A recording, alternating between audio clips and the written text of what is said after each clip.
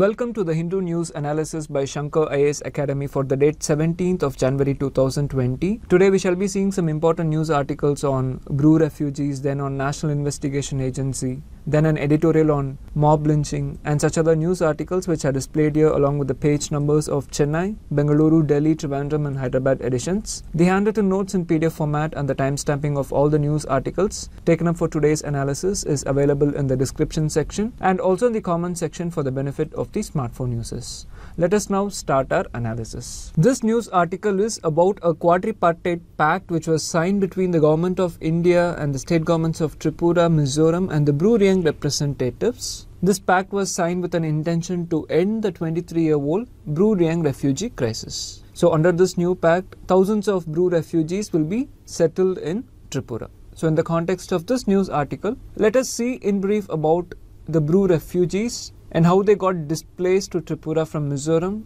and the efforts of the central government to rehabilitate the displaced tribes. The syllabus that is relevant to the analysis of this news article is given here for your reference. First, let us see in brief about these Bru tribes. They are also called as Riang tribes. They are one of the scheduled tribes in the state of Tripura. Their traditional name is Bru. So they are interchangeably called as Bru tribes or Riang tribes.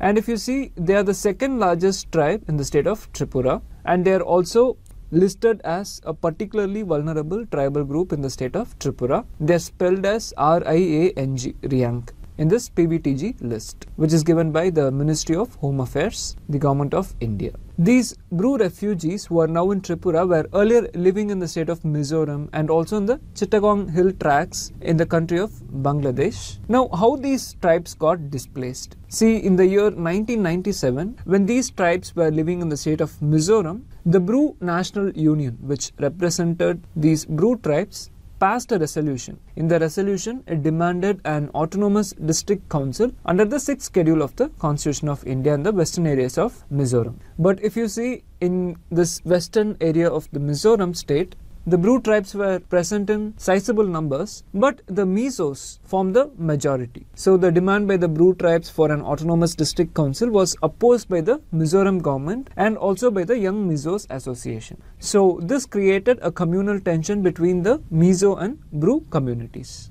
As a result of the communal tensions, around 5,000 families which comprised around uh, 30,000 Riang tribals, fled from the state of Mizoram to the neighboring state of Tripura in 1997. And the displaced tribals were housed in temporary camps at Kanchanpur, which is located in North Tripura, and they were living in tents all these years in subhuman conditions. Nothing much happened for the next uh, 10 to 15 years. Then, if you see since 2000, uh, 10, the government of India has been making sustained efforts to permanently rehabilitate these Bru refugees, but no solution could be reached all these years. Meanwhile, the union government was assisting the two state governments, the state governments of Tripura and Mizoram, for taking care of the refugees. Till 2014, around uh, 1,600 Bru Reang families returned to Mizoram in different batches. And if you see, on 3rd July 2018, an agreement was signed between the union government, the two state governments, and representatives of the Bru refugees to repatriate the Bru tribes back to Mizoram. So, as a part of this agreement, around 328 families, which comprised around uh, 1,369 tribals, returned to Mizoram. And also, the aid that was given to these refugee families was increased substantially as a part of this agreement. But still, a large number of Bru tribes are still in Tripura and they did not wish to go back to Mizoram because they worried about their security if they again went back to Mizoram. So there was a sustained demand of most of the Bru families that they may be allowed to settle down in Tripura itself. So in the previous year, that is in 2019, again fresh negotiations started for the permanent settlement of Bru refugees in Tripura itself and for this purpose a new quadripartite pact was signed yesterday. Here quadripartite pact means a pact or an agreement signed between four parties. Quad means four. So the four parties are the union government, the two state governments Tripura, Mizoram and the representatives from Bru tribes. Now, under this agreement, the following arrangements are made. One is that this pact facilitates the permanent settlement of around 34,000 Bru refugees in Tripura itself. Next, the central government will give aid to the state governments to help with the rehabilitation of Bru refugees and also for the overall development of these Bru refugees. Next, under this agreement, it has been agreed that the Bru tribals would now be included in Tripura's voter list and they would also get all the rights that a normal resident of the state would get.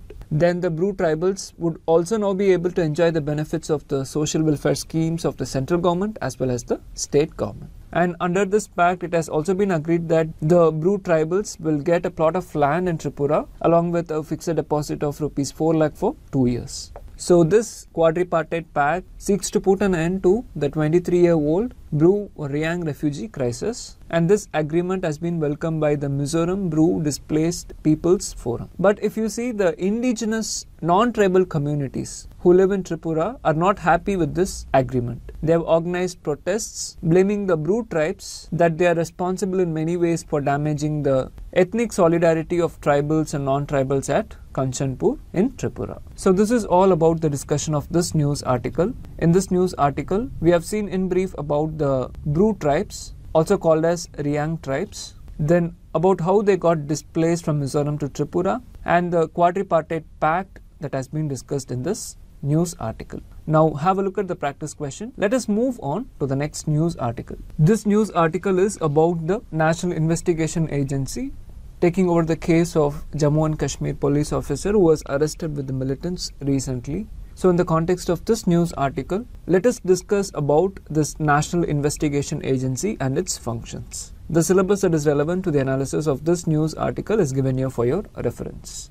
We know that over the past several years, India has been a victim of large-scale terrorism which has been sponsored from across the borders and there have been innumerable incidents of terrorist attacks not only in the militancy and in the insurgency affected areas but also in the areas affected by left wing extremism and in the form of terrorist attacks bomb blasts etc in various parts of india including the major cities and the hinterlands. Now if you see all these incidents they have some complex interstate and international linkages and there are also possible connections with other activities like smuggling of arms and drugs, then pushing in and circulation of fake Indian currency, then infiltration from across the borders, etc. So, keeping all these in view, it was felt that there was a need for setting up an agency at the central level for investigation of offences related to terrorism and certain other acts, which has national level implications. If you see several experts and committees, including the Administrative Reforms Commission, came up with many recommendations for establishing such a central agency.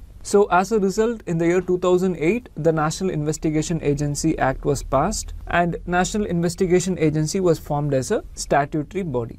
Now, let us see the salient features of this National Investigation Agency Act of 2008. See, this act extends to the entire India and it also applies to citizens of India who are outside India. Then it applies to persons who are in the service of the government wherever they may be. And it also applies to persons on ships and aircrafts which are registered in India and wherever they are across the world. Now, if you see, this National Investigation Agency can investigate and prosecute for offences under the acts which are specified in the schedule of this National Investigation Agency Act of 2008. There are around some seven acts mentioned here, and also the National Investigation Agency can investigate and prosecute for offences under the Indian Penal Code under the sections that are mentioned here. So all these offences are called as the scheduled offences since they are mentioned in the schedule under this act. Now let us see the objectives of National Investigation Agency.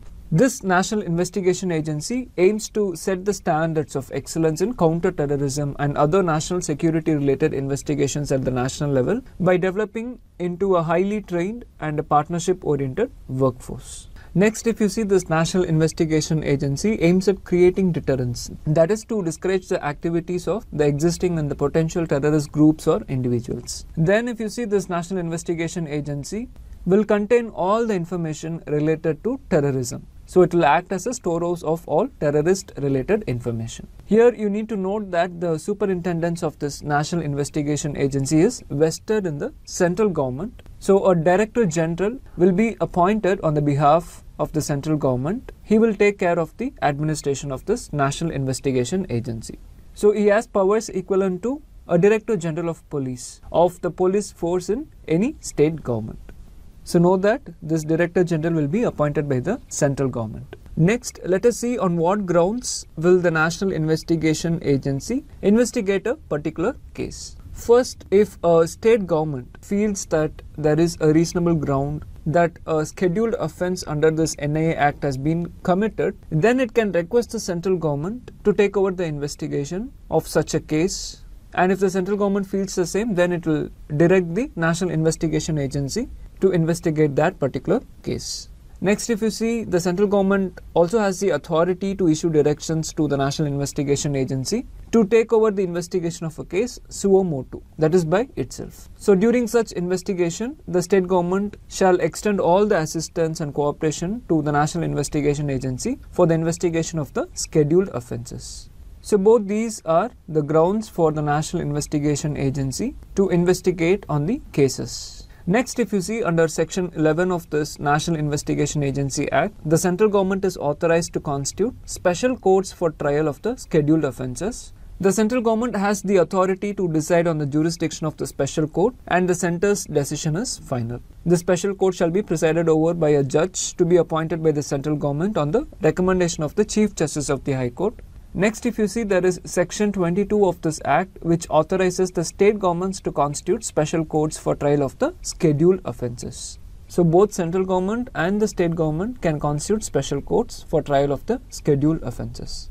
Here you need to note that an appeal on any judgment, sentence or order of a special court shall be made at the High Court and every such appeal shall be heard by a bench which consists of two judges in the High Court and uh, that particular appeal case has to be disposed of within a period of 3 months from the date of admission of the appeal. So this is regarding the appeal on any judgment, order or sentence of the special court and about the special court. So these are some of the important functions of the National Investigation Agency. Now, if you see in the year 2019, an amendment was made to the 2008 National Investigation Agency Act. Now, this amendment act aims at enhancing the jurisdiction of the National Investigation Agency. Now, as per this amendment, the National Investigation Agency will investigate the scheduled offences which are committed outside India that targets Indians as well as the Indian assets abroad.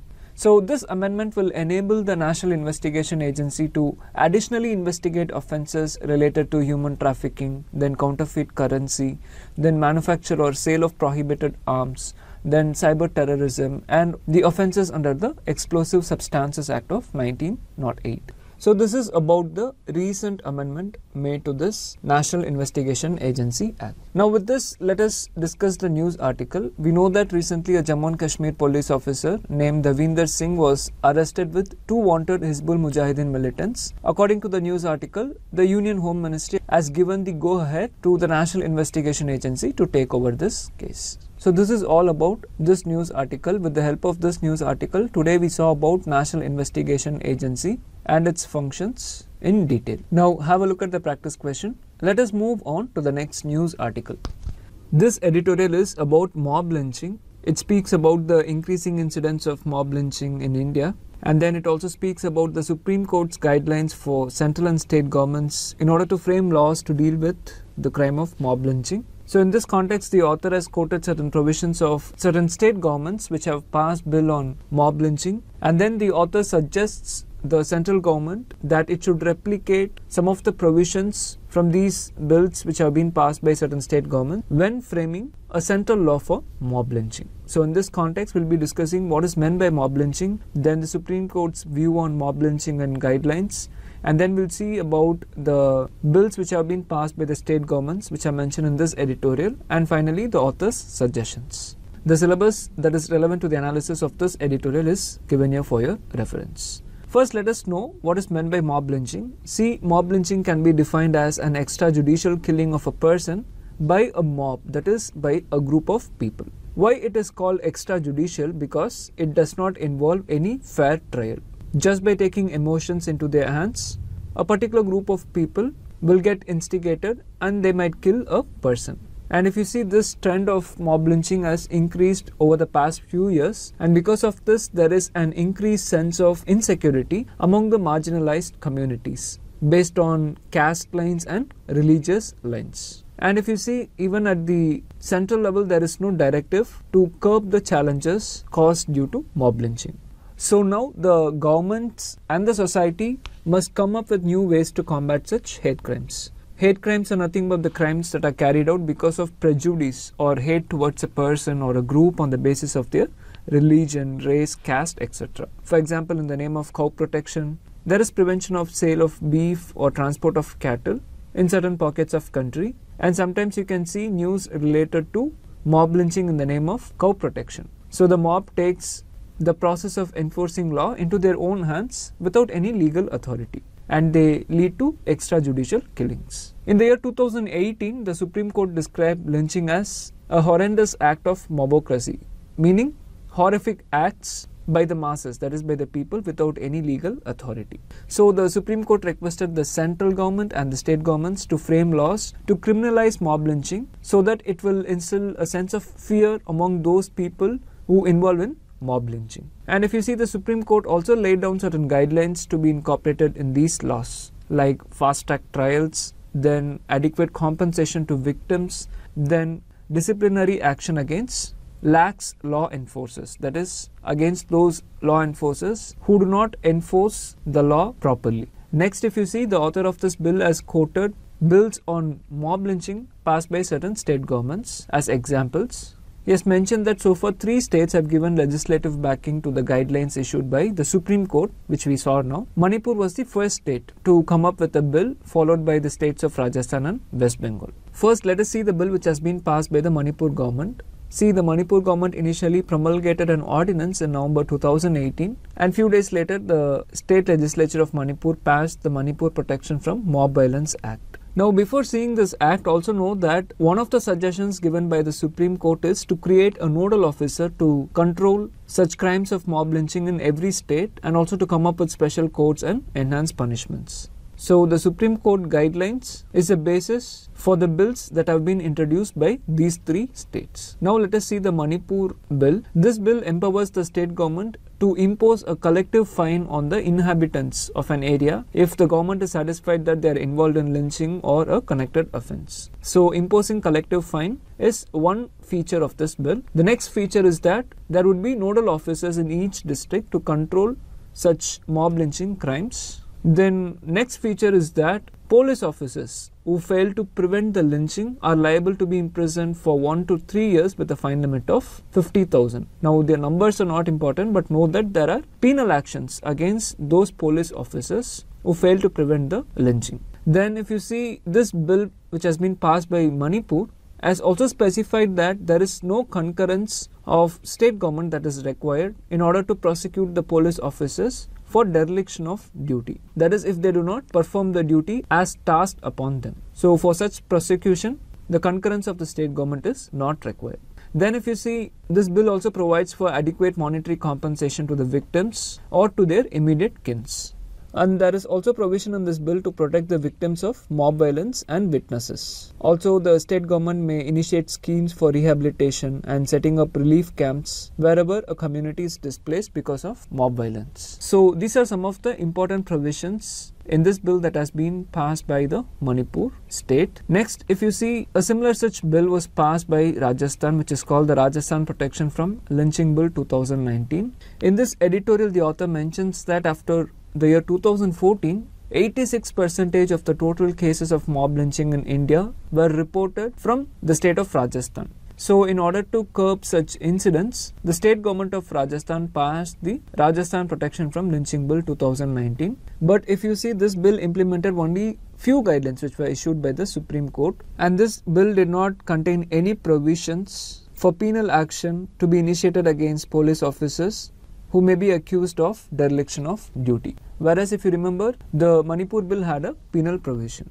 Next, if you see, the author has mentioned the bill which has been passed by the state government of West Bengal, which is the West Bengal Prevention of Lynching Bill 2019. Here, the state government has come up with a more stringent law against mob lynching. For example, there is a punishment for lynching. The punishment is death penalty or life imprisonment and a fine of up to 5 lakhs. But this bill is still under the process of becoming an act. So we can see that bills have been passed by certain state governments to act upon mob lynching. Now, in the final part of the editorial, the author has given some suggestions to the central government for framing a stringent law against mob lynching by replicating certain stringent provisions from the state bills that we have discussed so far.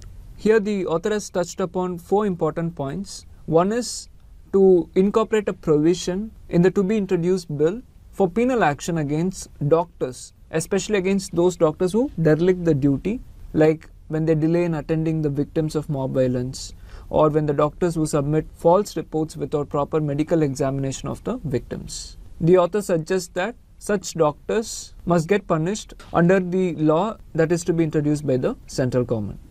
Next, the author has discussed about imposing collective fines on the villages where the lynching has taken place he tells that under the compensation scheme for victims, the amount that has to be paid to the victim's family should be recovered from those perpetrators of the crime, that is, those who have done the crime, or collective fines should be imposed in the villages where the mob lynching has taken place. So, this is one suggestion given by the author. Next, if you see, the author has suggested that the center could even provide for punitive actions against the political leaders who are found guilty of inciting the mob to involve in mob lynching. So, punitive actions against political leaders is the next suggestion. Next, if you see, the author has also suggested for punitive actions against police officers who are accused of dereliction of duty. He tells that similar to the Manipur bill, a provision can be included in the bill that is to be introduced by the central government in the parliament.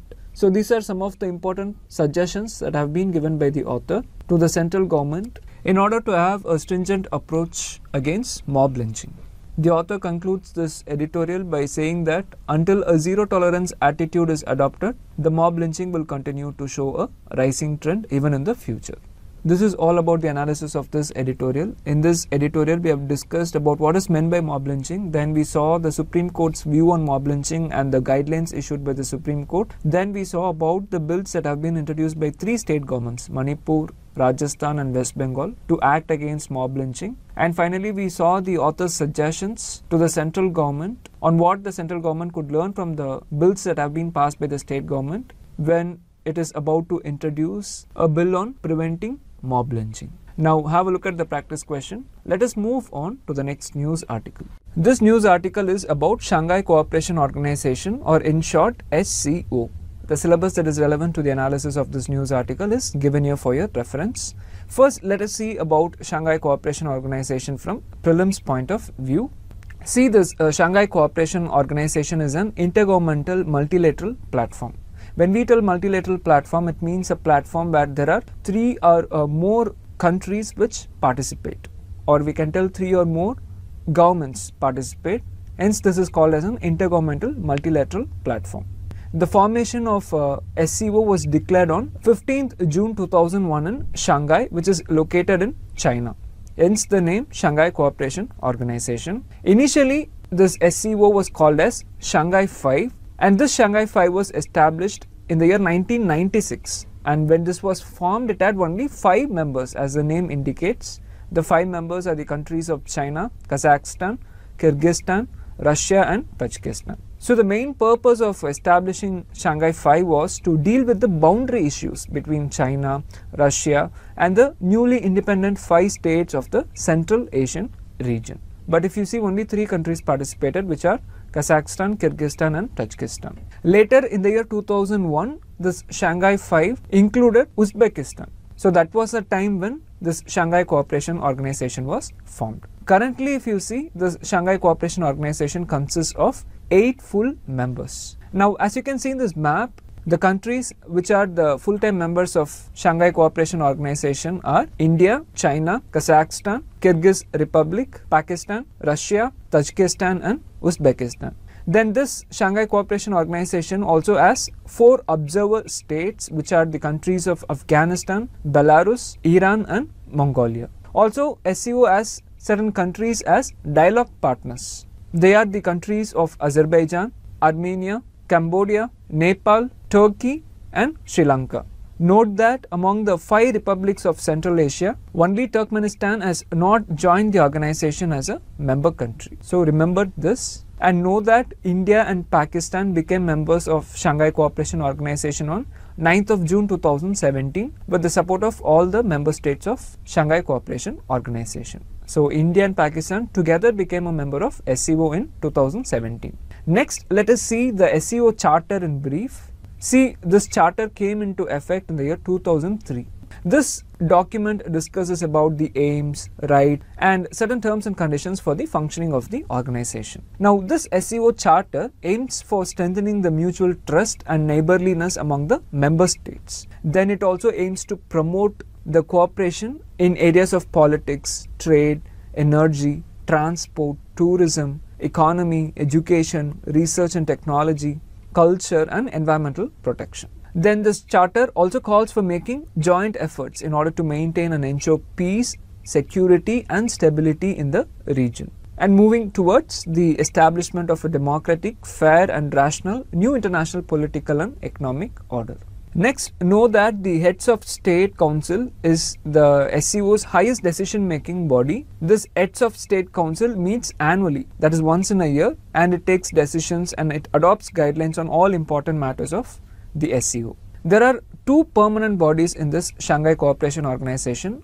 One is the SCO Secretariat and the next is the Executive Committee of the Regional Anti-Terrorist Structure, in short RATS. Know that the Secretariat of SCO is located at Beijing, which is the capital of China, and SCO RATS is based in Tashkent, which is the capital of Uzbekistan.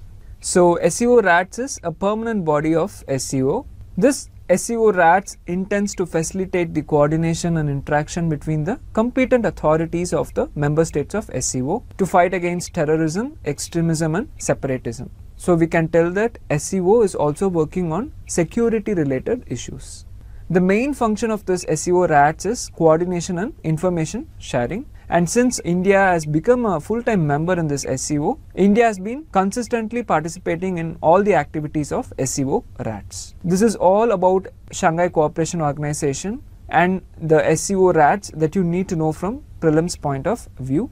Now let us discuss this news article. This news article tells that India will invite the Prime Minister of Pakistan for the Shanghai Council meet that is for the heads of government council meeting of this Shanghai Cooperation Organization. It is nothing but the heads of state council which we discussed just now. We saw that heads of state council is the highest decision making body. So the official from the Ministry of External Affairs has said that India will definitely invite all the eight members of this Shanghai Cooperation Organization and the four observer states and other international dialogue partners to attend this annual Heads of State Council meeting. If you see, last year, this annual Heads of State Council meeting was held at Bishkek, the capital of Kyrgyzstan. And this year, this meeting will be held in India. This news is important because the Prime Minister of Pakistan, Mr. Imran Khan, has never visited India since he has assumed office in 2018. This is an evolving news article. We need to wait and watch the developments. So from this news article, try to know about Shanghai Cooperation Organization from prelims point of view. You can make use of the picture that is given in this news article to know about the members, the observer states and the dialogue partners. Then it has also mentioned about uh, the permanent bodies of this Shanghai Cooperation Organization which we saw. Now have a look at the practice question. Let us move on to the next news article. This news article is about the direction given by the National Commission for Minorities to the Kerala Police. It is about filing a detailed report regarding the allegations of a program which is called as Love Jihad, where there are reports that uh, young Christian men and women are targeted and they are converted to Islam and then they have left Kerala to join the Islamic State in Afghanistan and Syria. So the National Commission for Minorities has expressed its concerns that at least 21 persons among those people who are suspected to have left Kerala have been converted to Islam from Christianity under this love jihad. Now just know in one or two lines about this news article what you need to know is about the National Commission for Minorities from exam point of view. We have discussed in detail about this National Commission for Minorities in our 25th November 2019 analysis we request the viewers to have a look at the video to know in detail about the National Commission for Minorities, where we have uh, discussed about the notified minorities in India, then about the composition of the commission, its term of office, then about the functions of the commission. And the important constitutional provisions which discuss indirectly about minorities. Here, one point that you need to know is that the Constitution of India does not define the word minority anywhere in the Indian Constitution. It only refers to minorities and it speaks of those minorities based on religion or language and it speaks about the rights of such minorities in detail. So try to remember that minorities has not been defined in the Indian constitution. Now try to remember this fact because in 2019 a similar such question was asked wherein a statement was given that the word office of profit is clearly defined in the Indian constitution. That particular statement was wrong. So try to remember such unique facts. Now let us move on to the practice questions discussion session. Look at this question consider the following pairs. Tribes and the states have been given. You need to choose the correct pairs. Look at the first pair Reang tribes Tripura, this pair is correct. In fact, if you see all the tribes which are given here are those tribes which come under the particularly vulnerable tribal group as classified by the Ministry of Home Affairs, Government of India. So, Reang is a PVTG tribe in the state of Tripura. So, the first pair is correct. Now, look at the second pair, Jarawas, Mizoram. This pair is wrong because Jarawas are a PVTG tribe in Andaman and Nicobar Islands. The other PVTG tribes who live in Andaman and Nicobar Islands are Great Andamanese, Onges, Sentinelese, and Shompens. So the second pair goes wrong. Now look at the third pair, Irular Puducherry. Now we need to know that only the Union Territory of Andaman and Nicobar Islands have tribes which come under this particularly vulnerable tribal group. No other Union Territory has tribals under this PVTG group. So the third pair goes wrong. Irular tribes are listed as PVTG in Tamil Nadu. The other PVTG tribes in Tamil Nadu are Kattunayakkan, Kota, Kurumbas, Paniyan and Thoda. If you remember in 2019 prelims exam there was a question on particularly vulnerable tribal group in which there was a statement Irulars and uh, are particularly vulnerable tribal groups. So the third pair goes wrong now you need to choose the correct pairs. The correct answer here is option A, one only. Now look at this next question which is on National Investigation Agency. Two statements have been given and you need to choose the correct statements. Look at the first statement. It tells that National Investigation Agency is an executive body formed under the Ministry of Home Affairs with an objective to lead counterterrorism and other national security related investigations. This statement is wrong because the National Investigation Agency is a statutory body. When we say statutory body, body, it has been formed as per a statute or a law. In this case, it is the National Investigation Agency Act of 2008. And this agency comes under the Ministry of Home Affairs. So it is a statutory body, not an executive body. So the first statement goes wrong. Now, if you look at the second part of this first statement, which speaks about the objective to lead counterterrorism and other national security related investigations, this part is correct. Look at the second statement. It tells that the superintendence of the agency vests in the central government. This statement is correct. As per section 4 of this National Investigation Agency Act of 2008, the superintendence of this National Investigation Agency vests in the central government. So the second statement is correct. Now you need to choose the correct statements.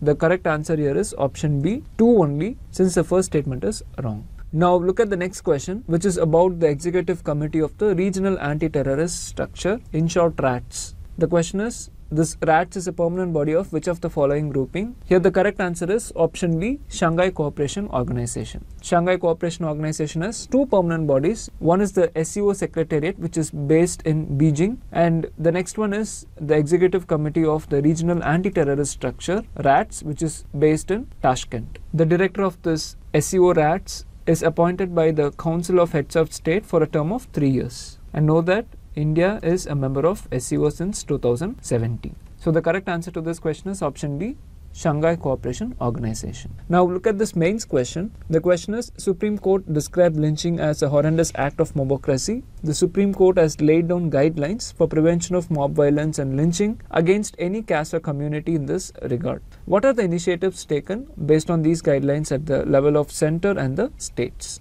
Discuss with examples. So here the actual question is what are the initiatives taken based on the Supreme Court guidelines regarding mob lynching at the level of center and at the level of states, you need to discuss with certain examples. Since this is a 10 mark question, focus on some of the initiatives taken by different state governments like Manipur, Rajasthan, West Bengal, which we discussed during our analysis, and also about the initiative taken at the central level. As of now, there is no law which has been enacted by the parliament. You can mention that. Now, don't focus much on the Supreme Court guidelines, but focus on the initiatives taken at the central level and at the state level. Please post your answers in the comment section and we shall review your answers and uh, give suitable suggestions and feedback within the next 7 to 10 working days. With this, we come to the end of the analysis of all the news articles taken up for today's discussion and also the practice questions discussion session. If you like the video, press the like button, comment and share and do subscribe to Shankar IAS Academy YouTube channel for latest videos and updates. Stay focused and motivated friends. Thank you.